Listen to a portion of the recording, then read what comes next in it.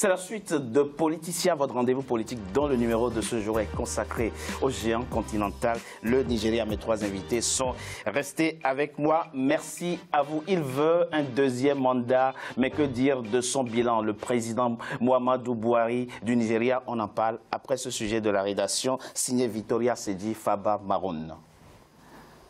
Le 28 mars 2015, le président Muhammadu Buhari accède à la magistrature suprême du Nigeria face au président sortant Goodluck Jonathan, contre lequel il remporte 53,9% des voix. Le nouveau président représentait alors l'espoir pour de nombreux citoyens.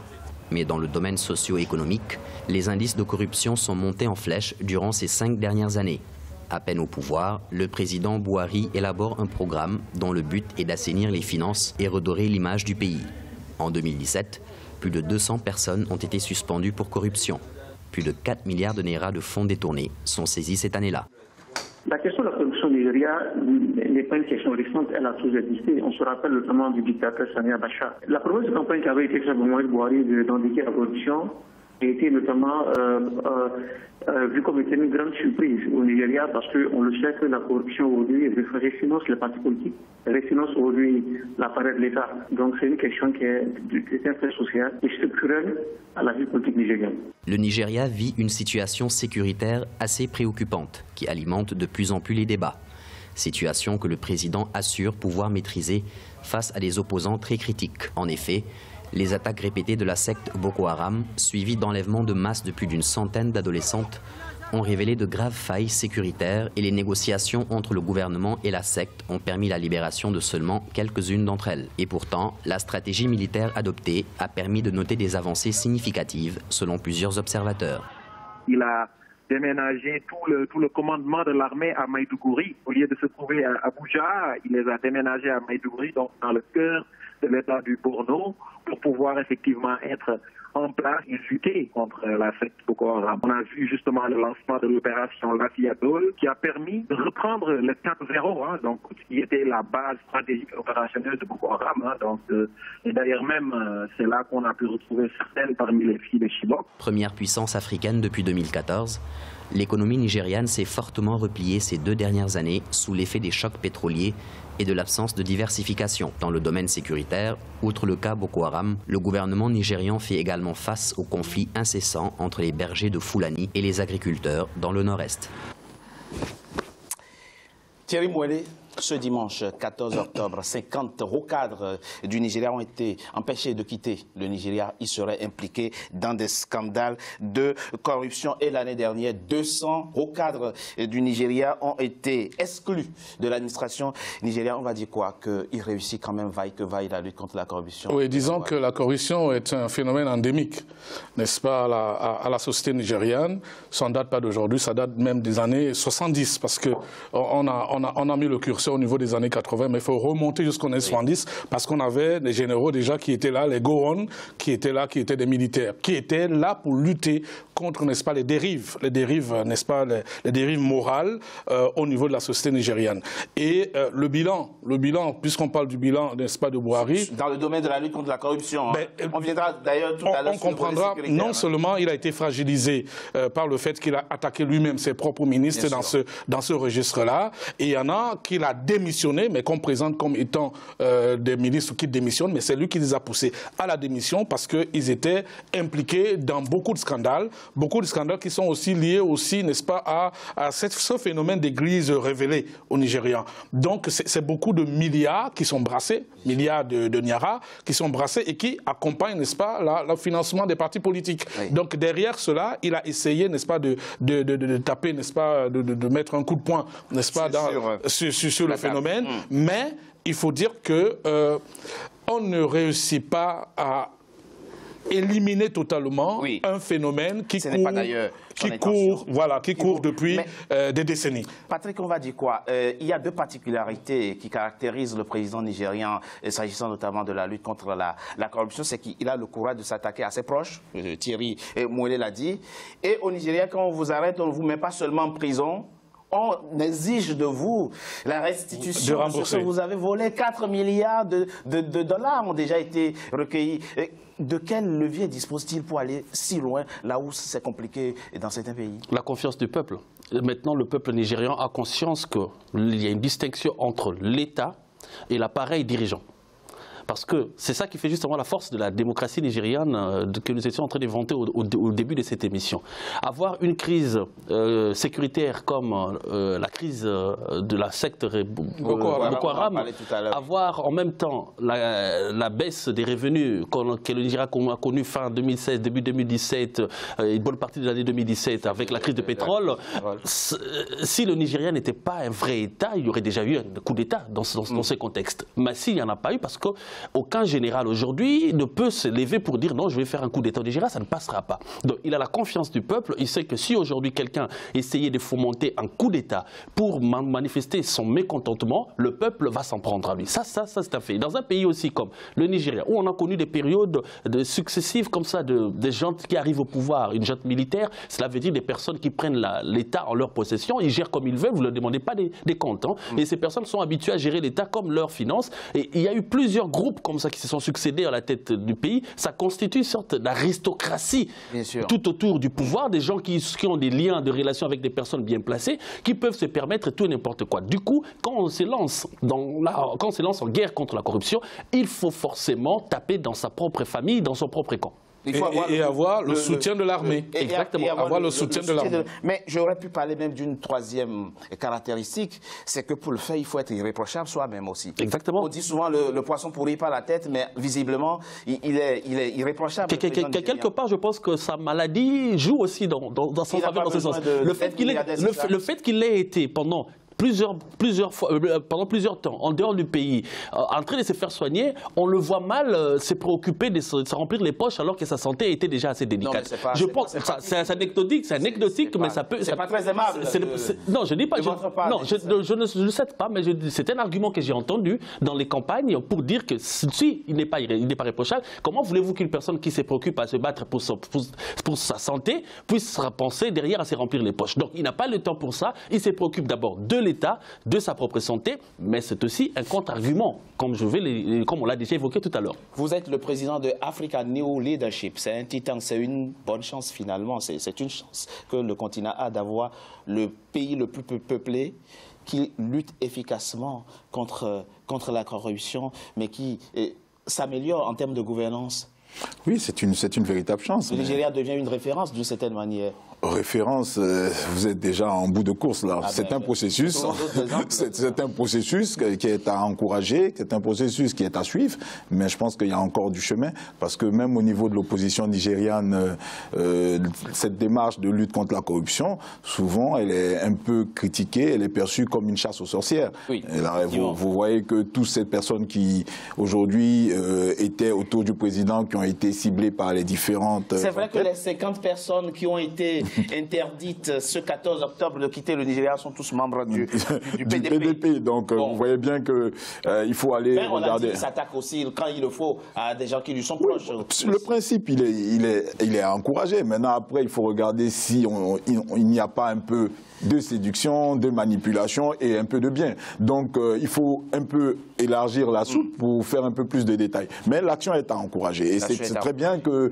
le géant de l'Afrique de l'Ouest euh, puisse mener de telles initiatives. Thierry, le général dit avant de devenir président, il me faudra quelques mois pour juguler Boko Haram. Et il est, ça fait quatre ans maintenant, Boko Haram est toujours, on va dire quoi, le, militaire a sous-estimé la capacité de nuisance de la scène Boko Haram. Déjà, il faut déjà dire que le militaire lui-même est diminué physiquement. Il a d'autres préoccupations euh, qui sont des préoccupations de, la survie personnelle en tant qu'individu.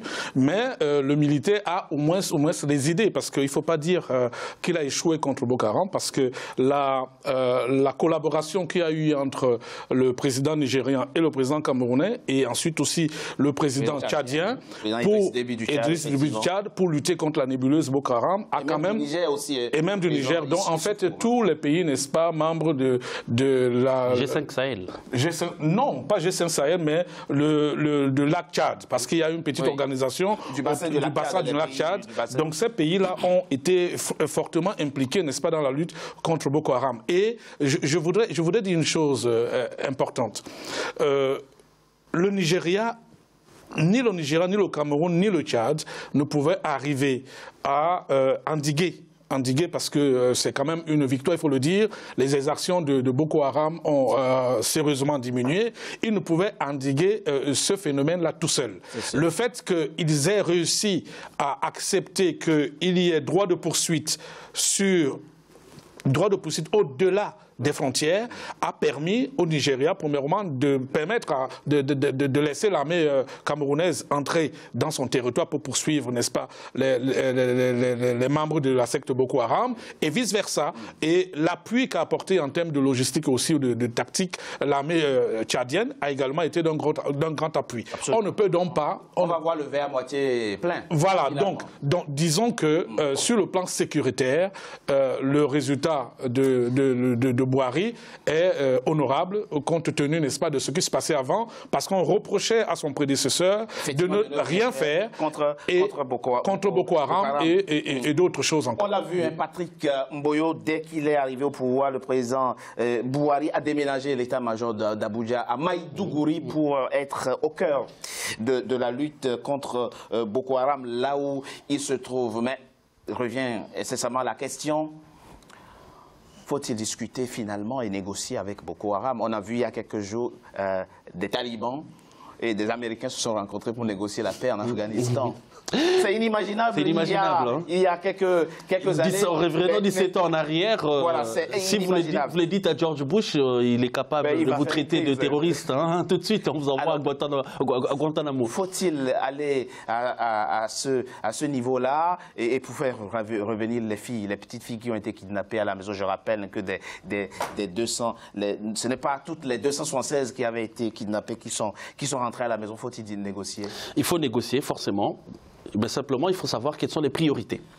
Euh, Goodluck, Jonathan avait eu comme avait une démarche plutôt personnelle de lutter contre Boko Haram. Il dit que c'est un mouvement, pensait que c'était un mouvement nigérian et qu'il fallait que l'armée nigériane, qui était réputée comme étant la plus puissante, la plus forte d'Afrique de l'Ouest, une des plus fortes au monde, puisse juguler ce, juguler ce problème et ainsi il allait euh, avoir son deuxième mandat, mandat assuré. Sauf il n'en était pas ainsi. Quand les filles ont été enlevées, la première erreur qu'il avait commise, c'est de ne pas déplacer l'état-major à Maïdougouri. Il a gardé l'état-major à ah, Lagos, on menait les recherches à Maïdougouri et on rendait les rapports à Lagos. Du coup, il fallait un temps entre la décision et l'opérationnalité et l'opérabilité euh, des, décisions sur le terrain. Ça, ça a été un vrai fiasco lui, euh, général de son État, il a compris les choses, il a fait à l'envers et ça, ça, produit des résultats euh, probants. Parce qu'aujourd'hui, on peut dire que la secte Boko Haram est sensiblement, sensiblement euh, diminuée, amoindrie, mmh. mais simplement, elle reste nuisible. sa capacité de nuisance reste réelle. Face à cela, on peut dire aussi que la participation des autres États, comme on l'a dit, ça a été quelque chose, un, atout majeur. Mais surtout, ce que moi j'apprécie, c'est qu'il a refusé l'aide de l'OTAN qui a été proposée. Il a rejeté cela. Par contre, parce que cette aide, en réalité, n'avait aucune efficacité. Souvenez-vous quand les filles ont, été enlevées. Les États-Unis, la Grande-Bretagne, les pays de l'OTAN ont envoyé des experts soi-disant pour aider l'armée nigériane. Et des, drones, et, des drones. en plus. Malgré ça, on ne les a jamais retrouvés. Il a fallu que euh, Boari arrive avec ses méthodes à l'ancienne pour qu'on puisse libérer, certains disent qu'elles se sont échappées, au moins une centaine de filles, on les a récupérées après. Donc, je pense que cette fierté dont vous parliez tout à l'heure des Nigérians a, conduit à ce qu'ils puissent avoir des résultats probants sur les... Donc, leur armée puisse avoir des résultats probant sur le terrain, mais avec un certain pragmatisme aussi euh, du, de Mohamedou Bouabari dans ce sens. Moi, je dirais que sur ce terrain-là de la sécurité, le verre est plus qu'à moitié plein. Le verre est plus qu'à moitié, à, moitié plein. Mais, il y a toujours 87 millions de Nigérians qui vivent en dessous du seuil de pauvreté. Hmm. On va dire quoi sur le plan économique et social? Euh, Là, il a, il a, il a marqué les pas Bon, ok. je vais quand même revenir euh, sur, un élément. Euh, c'est la sécurité et la secte Boko Haram. On, parlait, nous posions la question de savoir s'il fallait quand même négocier avec euh, la secte Boko Haram. je pense que les deux méthodes ne sont pas incompatibles. C'est-à-dire combattre comme s'il n'y avait pas de négociations et négocier comme s'il n'y avait pas de combat. Choisir voilà, la, priori que, choisir la priorité. on pourrait, les deux méthodes ne sont pas incompatibles. Mais, mais voilà. les bombardiers, il faut les trouver où Les militaires vous diront. bon, alors, mais pour revenir sur l'aspect au plan social, oui, évidemment, euh, ouais, tout à fait. Récession en 2000. Récession, inflation, euh, hausse du chômage. Évidemment, sur ces points-là, je pense que le président Boari a quand même euh, quelques petits soucis à se faire, puisque c'est là-dessus aussi que l'attaque ses principaux opposants. Mais on peut quand même noter que euh, la, la, croissance est, est, censée repartir pour l'année 2019. Donc, euh, bon, ça va être limite, puisque l'élection, c'est déjà pour l'instant, c'est 0,2. Février 2019. Donc, euh, je pense que sur ce, ce terrain-là, il n'a pas véritablement euh, séduit mais c'est aux Nigérians d'apprécier. On va dire quoi? Qu'au-delà euh, de, de, ces réussites et de ces échecs, euh, les Jeux restent ouverts pour février 2019 Tout à fait. Tout à fait. D'autant d'ailleurs que euh, sur les principales villes nigérianes, euh, il faut bon vivre maintenant parce qu'il y a euh, un air de modernité qui a été impulsé d'abord par Jonathan Goodluck et renforcé implémenté euh, et puis même développé, amplifié par euh, le, président euh, Boari. Donc, oui, les jeux, les jeux, tout reste, tout, tout reste faisable. D'autant d'ailleurs que puisque l'élection ne sera pas une promenade de santé pour lui. Non, pas du tout, pas du tout. D'autant d'ailleurs que, d'autant d'ailleurs que le capital de, de, de sympathie qu'il a engrangé depuis qu'il est malade va être confronté, n'est-ce pas, à la réalité de, du bilan économique et, et, politique. Mais il faut quand même dire que euh, sur le plan infrastructurel, il a beaucoup travaillé.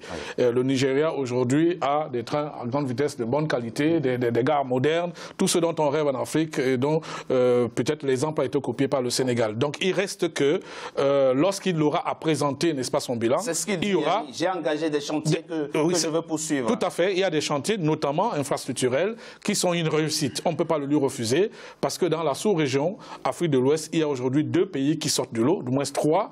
Il y a le Nigeria, je parle là de la CDAO, oui. le Nigeria, le Sénégal, le Sénégal et, et la Ajoutons un quatrième, donc, dans ce cas-là, et le Ghana.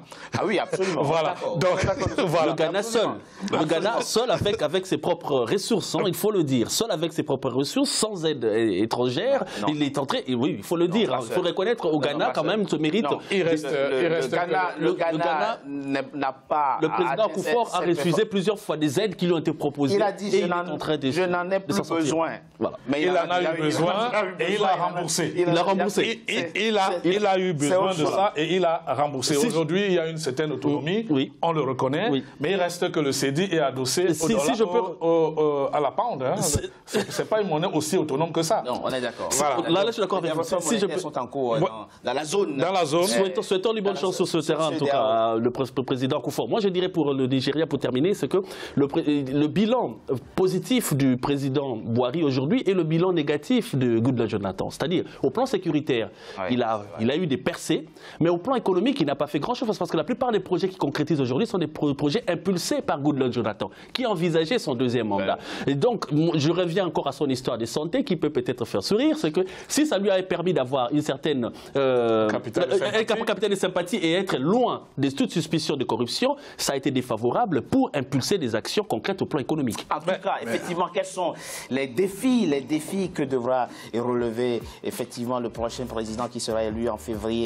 2019 De quelle nature sont-ils sont sont-ils apportés de, de, de, de main? On, on en parle après une courte pause. À tout de suite.